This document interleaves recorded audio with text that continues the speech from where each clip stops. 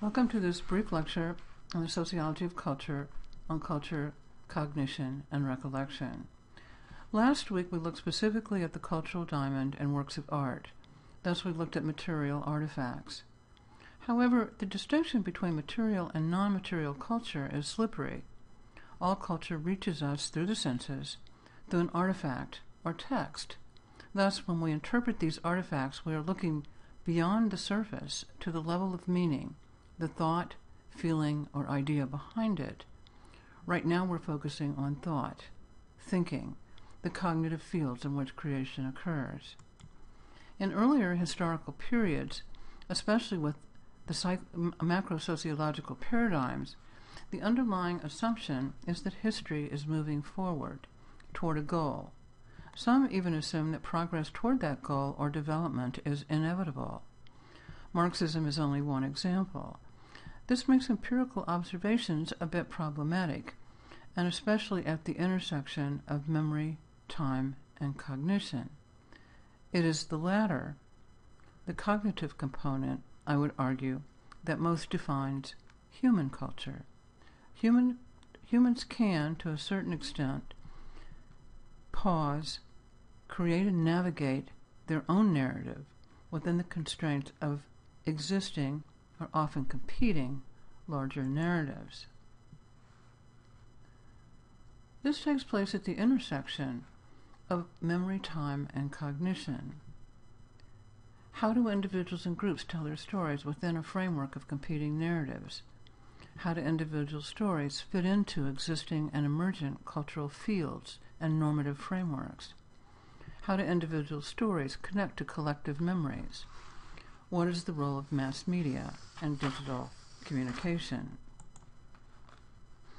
John Hall introduces a working definition of culture which includes ideas and knowledge, humanly fabricated tools, and products of social action. It's too early to do any more than mention Ann Swidler's idea of culture as a toolkit, but hers is a useful theoretical idea and one that makes intuitive sense. Generally, in sociology, we distinguish between structure and culture, or society and culture. One problem in connecting or linking culture to society is that society is such a vague term. But here we mean social actors and their relationships. Culture, by contrast, refers to the beliefs, values, norms, and symbols or artifacts that reflect these. Social structure is a term not unlike society, but here it specifically refers to formal roles, relationships, and positions, often hierarchical. Earlier theorists, such as Herbert Gans, wanted to connect structure, but especially social class, to culture, which he did with his concepts of taste publics joined to high and low cultural forms. As we move forward, we will come to see these as cultural fields with embedded social actors and social mindscapes or time maps that draw individuals together into meaningful groups.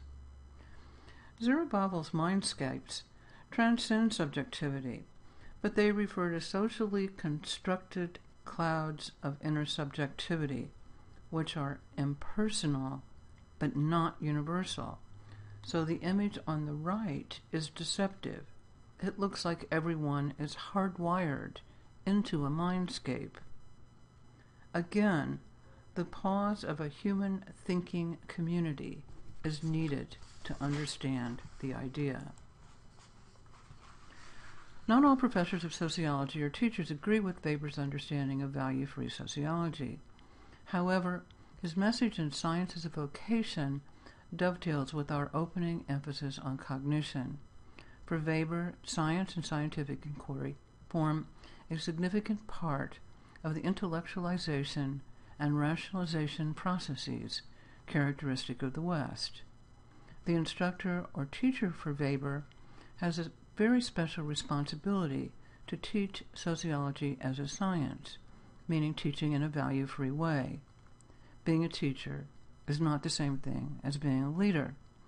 Weber was especially concerned that the differences in power between students and professors create a situation where students must listen, noting the checks on criticism that are not present in audiences in the external world, The tools of Web 2 have partially eliminated the one to many character of lectures and professorial roles.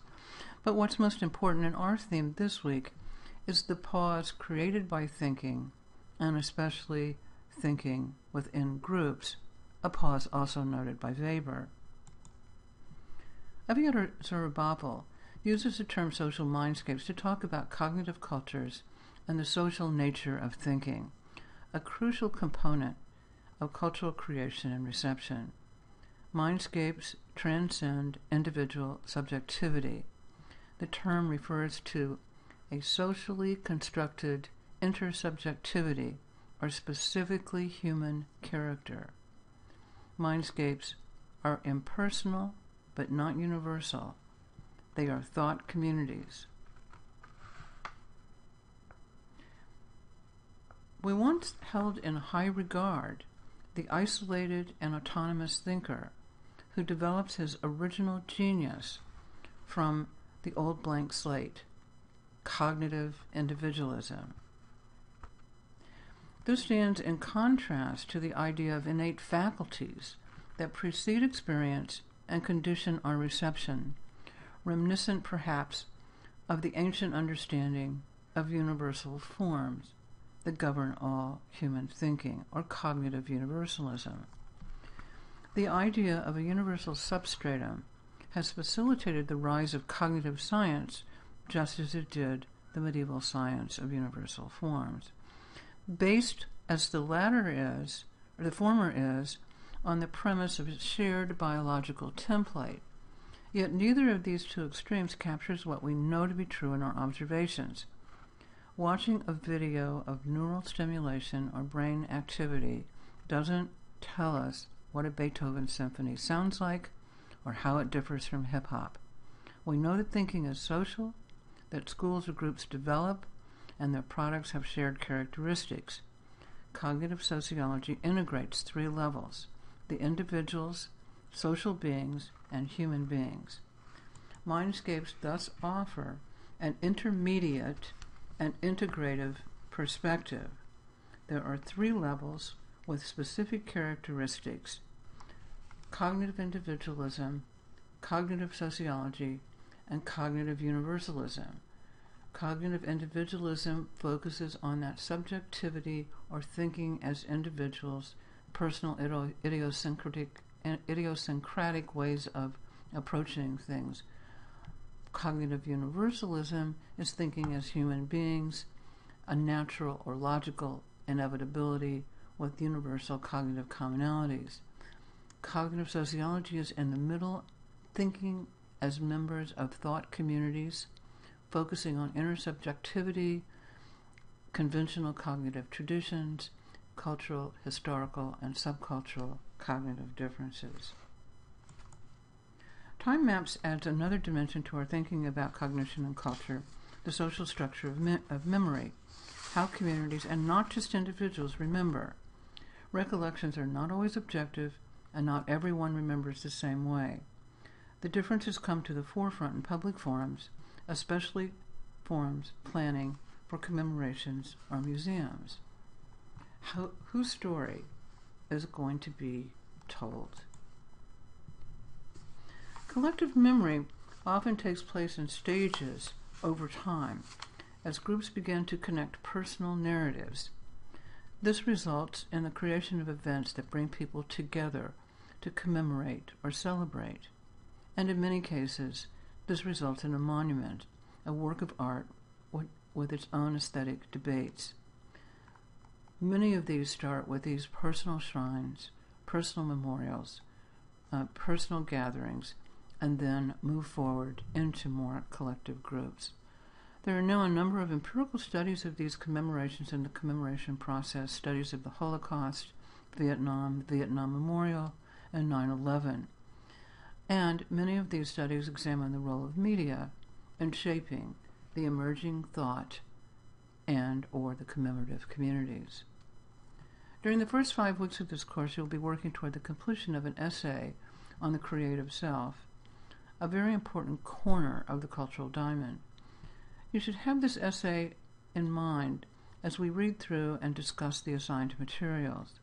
As you work toward completion of your essay, you should also be thinking about the creation of a digital identity. How do you want to tell your story and represent yourself in cyberspace?